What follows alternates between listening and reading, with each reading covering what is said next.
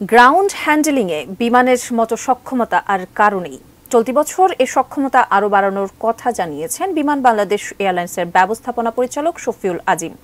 বিমান বাংলাদেশের বাহান্ন বছর পূর্তি উপলক্ষে এক অনুষ্ঠানে তিনি দাবি করেন, লাগেজ পেতে আর দীর্ঘ সময় অপেক্ষা করতে হবে না। স্বাধীনতার পরপরই উনিশশো বাহাত্তর সালের চৌঠা জানুয়ারি যাত্রা শুরু করে বিমান বাংলাদেশ এয়ারলাইন্স। যাত্রা শুরুর বাহান্ন বছর পূর্তি হয় বৃহস্পতিবার। দেশের সবগুলো বিমানবন্দরে বর্তমানে যাত্রীদের গ্রাউন্ড হ্যান্ডেলিং সেবা দিচ্ছে বিমান বাংলাদেশ এয়ারলাইন্স। বৃহস্পতিবার বিমানের গ্রাউন্ড হ্যান্ডেলিং সার্ভিসের নতুন কেনা যন্ত্রপাতি সহ ব্যবহৃত যন্ত্রপাতির প্রদর্শনী করা হয়। সম্পূর্ণ ডিজিটালাইজড পদ্ধতিতে কর্মীদের মনিটরের ব্যবস্থা করতে যাচ্ছে বিমান যাতে যে কোনো ধরনের যাত্রী হয়রানি বন্ধ ও কাজের ব্যাপারে জবাবদিহিতা নিশ্চিত করা যায়। বিমানের এই সক্ষমতা আছে বলেই বিমান মনোপলি।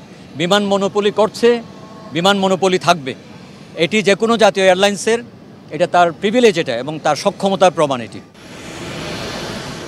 গ্রাউন্ড হ্যান্ডেলিংয়ের জন্য বর্তমানে বিমানের বহরে নয়টি এয়ারকন ইউনিট এগারোটি এয়ার স্টার্ট ইউনিট বাইশটি বেল্ট লোডার, চোদ্দটি পুশব্যাক টো ট্রাক্টর, তেরোটি প্যাসেঞ্জার স্টেপস, আঠারোটি র্যাম্প কোচ সহ নানা ধরনের যন্ত্রপাতি রয়েছে। চলতি অর্থ বছরেও নতুনভাবে এক হাজার কোটি টাকার সরঞ্জাম কেনা হয়েছে। দুই হাজার চব্বিশ সালের মধ্যে দুইশো থেকে দুইশো তিরিশটা, চল্লিশটা এয়ারক্রাফটকে আমরা এই ইকুইপমেন্টগুলো চলে আসলে আগামী তিন মাসের মধ্যে আমরা কোনো ধরনের বাধা ছাড়া আমরা খুব কমফোর্টেবলি তাদেরকে সার্ভিস দিতে পারব। দেশের পতাকাবাহী রাষ্ট্রায়ত্ত বিমান সংস্থা বাংলাদেশ বিমানের বান্ন বছর পূর্তিতে গ্রাউন্ড হ্যান্ডেলিংয়ে যুক্ত হয়েছে নতুন মাত্রা। আর সেগুলো প্রদর্শন করা হচ্ছে এখানে। বিমান বাংলাদেশ এয়ারলাইন্সের চাওয়া, তারা যেন যাত্রীদের সর্বোচ্চ সেবা নিশ্চিত করতে পারেন।